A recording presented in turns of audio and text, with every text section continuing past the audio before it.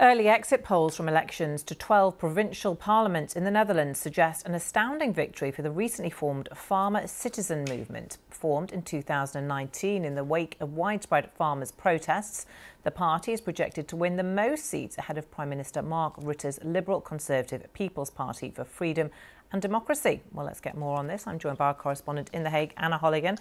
Anna, welcome to you. So tell us more about who this party is, uh, what they represent.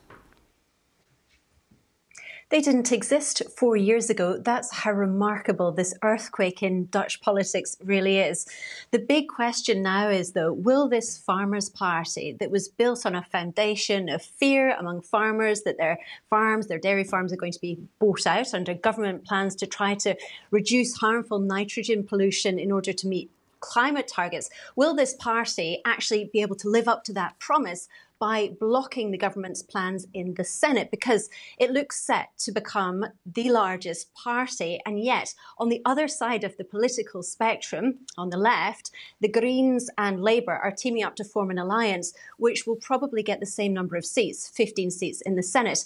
But the difficulty for the governing coalition, which looks set to lose about eight seats in the Senate, is that if they do team up with this left wing alliance, they will be accused of ignoring huge swathes of the Dutch population. And that's exactly what the Farmers' Party leader Caroline van der Plas has accused the government of, of, of neglecting populations because actually farmers in the Netherlands, they represent quite a, a small part of the population, about 200,000 people in this country of 18 million work on farms.